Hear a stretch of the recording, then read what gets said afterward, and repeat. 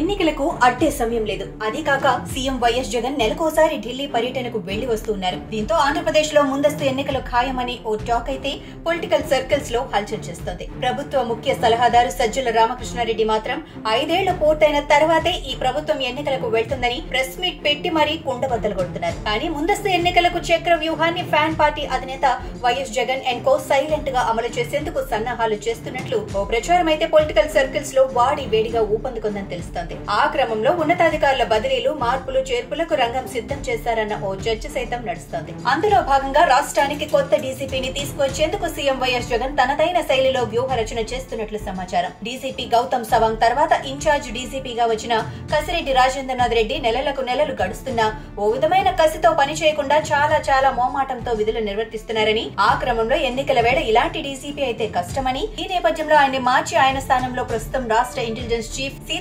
సీతారామాంజనేయులను police కొత్త బాస్గా నియమించేందుకు సన్నాహాలు చేస్తున్నట్లు తెలుస్తోంది. ఇప్పటికే డీజీ స్థాయి అధికారుల జాబితాను యూపీఎస్సీకి పంపటం త్వరలో ముగ్గురిని ఎంపిక చేసి వారి పేర్లతో కూడిన జాబితాను ప్రభుత్వానికి పంపనుందని తెలుస్తోంది.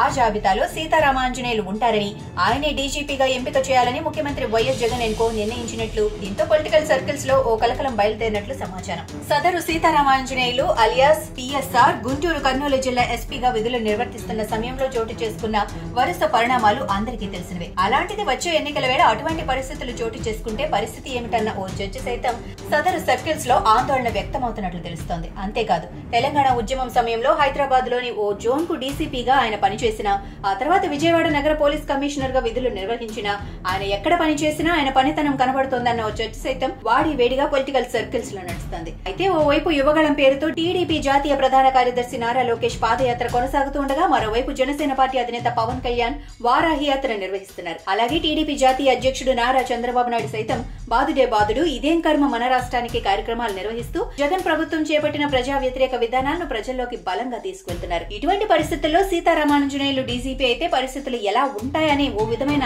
ఆందోళన అటు పొలిటికల్ సర్కిల్స్లోనే కాదు ఇటు ప్రజల్లో సైతం కొనసాగుతోందని తెలుస్తోంది. ఇప్పటికే చాలా చాలా మోమాటంతో పనిచేస్తున్న డీజీపీ కె. రాజేంద్రనాథ్ రెడ్డి సారథ్యంలోని పోలీసులు ప్రతిపక్ష పార్టీల శ్రేణులు అధినేతల పట్ల ఎలా వ్యవహరిస్తున్నారో అందరికీ తెలిసిందేనని అలాంటిది సీతారామాంజనేయులు డీసీపీ అయితే పోలీసుల పరిస్థితి ఏమిటన్న ఓ చర్చ సైతం పొలిటికల్ సర్కిల్స్లో వైరల్ అవుతుంది ఏది ఏమైనా ఊరంతటికీ ఒకే రౌడీ ఉండాలి అది పోలీసే ఉండాలంటూ ప్రముఖ పాత్రికేయుడు రచయిత కేఎన్వై పతంజలి చెప్పిన మాటలు మాత్రం ప్రస్తుతం పొరణకు వస్తున్నాయన్న ఓ చర్చ సైతం పొలిటికల్ సర్కిల్స్లో హల్చల్ చేస్తోంది.